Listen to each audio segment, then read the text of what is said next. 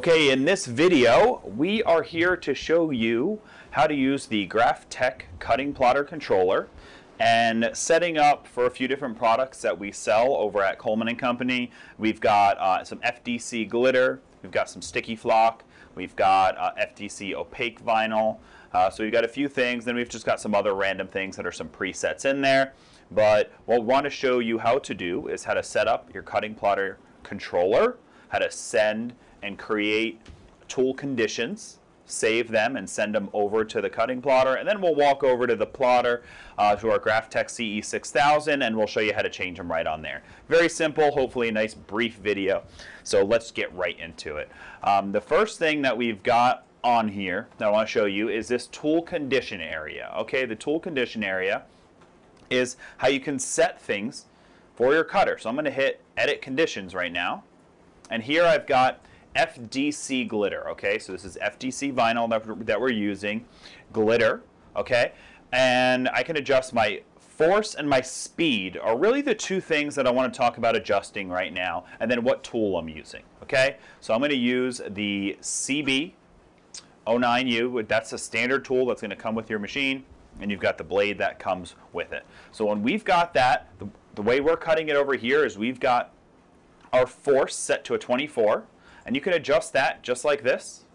So you go up here and you can type in your FDC glitter or your FDC metallic or whatever else you've got. You just type whatever you want in right here. And you can go ahead and save that however you want it. We've got our speed set at 30. We don't run it crazy fast. We could go faster, but when we're cutting with glitter, it uh, it can make a bunch of kind of that glitter lint and speckle and stuff like that. And when you're cutting really fast, I've noticed that it can get a little bit messier in the blade, so I just slow it down a bit. Generally speaking, uh, I'm not losing a ton of time. However, we do have folks that run it and tell me they run it at 60 all day. So uh, that's up to you. I'm just running it at 30 here. Uh, I'm going to leave my, my acceleration at 2. I'm going to leave my offset set to 0. Then we can go ahead and we can click OK here. Now it's going to save that as a preset. So we've done the same thing with Sticky Flock. I'm going to show you this one as well. Sticky Flock, we've got our force to 29. We've got our speed at 30. We've got our acceleration at 2 and our offset at 0. For opaque, we're running a force of 20, speed of 60, we're going full speed, and then uh, we haven't touched our acceleration and our offset. And then I put opaque detailed. So if we're working with something with really, really small, tiny lettering, small corners, we like to slow it down a little bit. Um, so there we've got our speed slowed down to 30. And It looks like, you know, there's a little bit of playing here before. I'm going to bump this up to 20. And that should be good. If we're going to make something completely different, let's just say FDC sticker.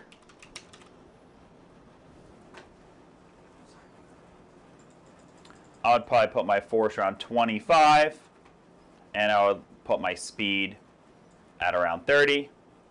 And depending, these aren't extremely specific all the time. I want you to understand that as you're working with a cutting plotter, okay?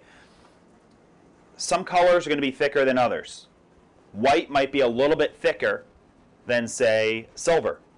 You are, you're going to have to make an adjustment because of that. If you're working with really small lettering versus a big giant circle, you're going to make an adjustment for that.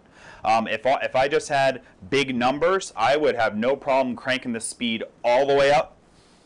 Um, and if I'm working with a thicker vinyl substrate, or a particular color even that's thicker, I might increase the force a little bit. That's why we do our test cuts.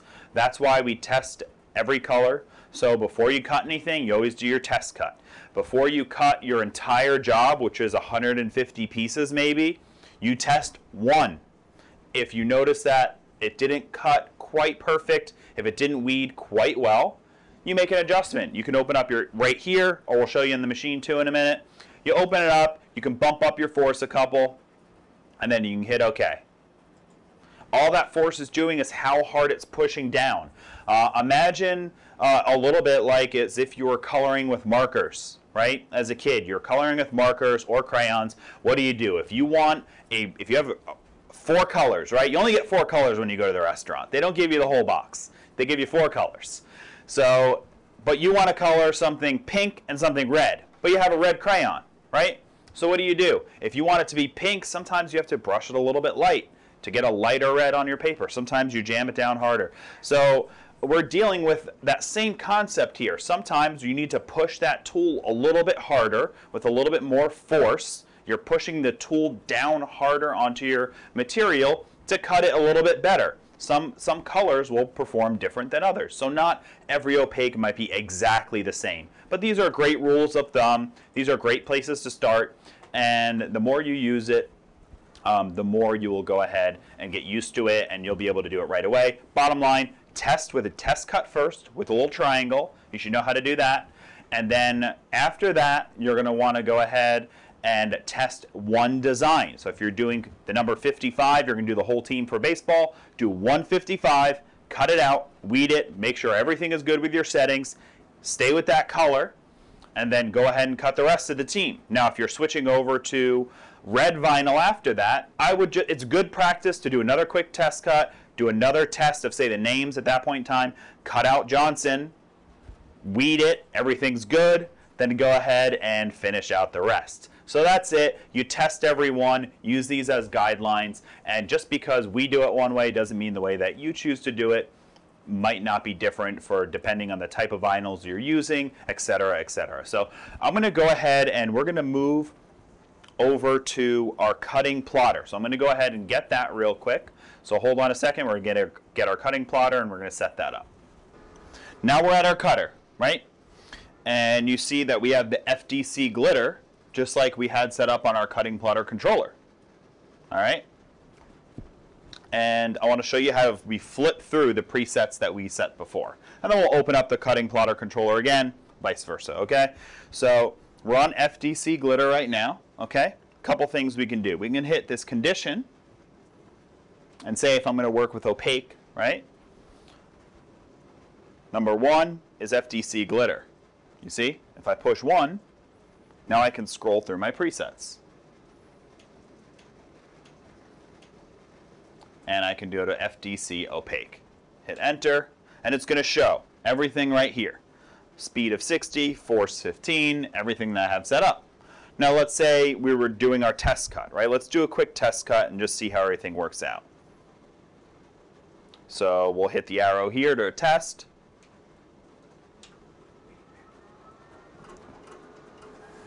Okay, and we've got our test cut that was done right here. And everything looks fine there. We're all set. There we go. We're all set. Everything looks good there, right? Now, if it wasn't right, let me show you what I would do differently. All right, I would hit enter. And by the way, um, are, I'm sure we're set rotated now, right? You can see this is actually this is actually turned to the side right now because the arrow is pointing this way rather than up. Then we're just on rotate. It doesn't make any difference. I'll show you how to adjust that just in case. We're going to go back to menu.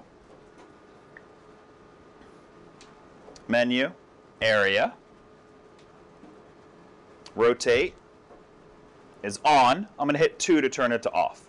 Enter. And there we go. Now we're no longer rotated. If you wanted to see what a non-rotated condition test would be, there you go.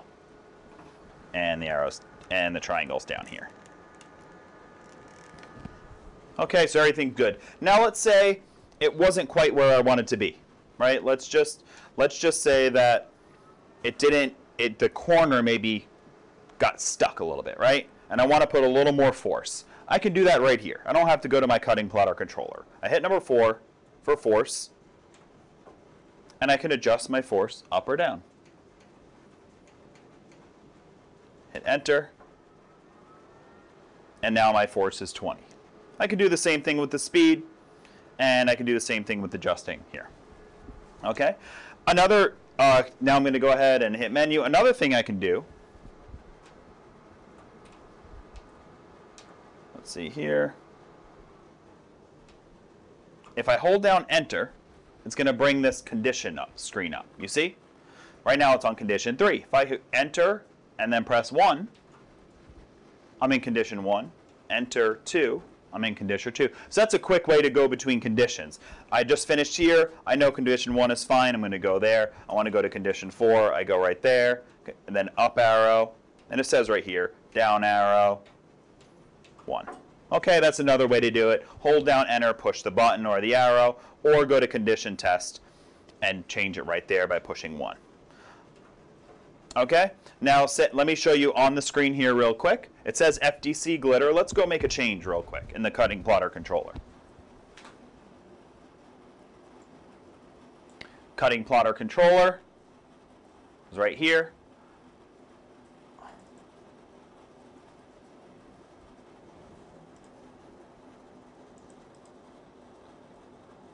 Not going to change much. We'll just change this to vinyl, right? And then I'll make the force 25 just to show you. Hit OK. Hit upload setting the plotter. Oh, communication cannot be established. That means that my USB is not plugged in, right? So just make sure my USB is plugged in. Upload settings to the plotter. There we go. So that's it. I just knocked my USB loose when I was moving the cutting plotter over. That's something that can happen to you. So that's really all it is. People will call up sometimes and say, my plotter controller can't connect. Uh, just plug the USB in. It's probably just loose. That's all it was. You saw it here live. It happens. But anyway, uh, right here you can see. Let me go ahead and, and bring the uh, camera back up so you can see. Okay. And now you can see right here, FDC glitter vinyl that we updated and the, the speed of 30 with the force of 25. Good luck, everybody. Enjoy making t-shirts. Enjoy using your cutter, and hopefully we helped you out a bunch in this video and you learned some cool stuff about settings and setting up your cutting plotter controller. Thank you.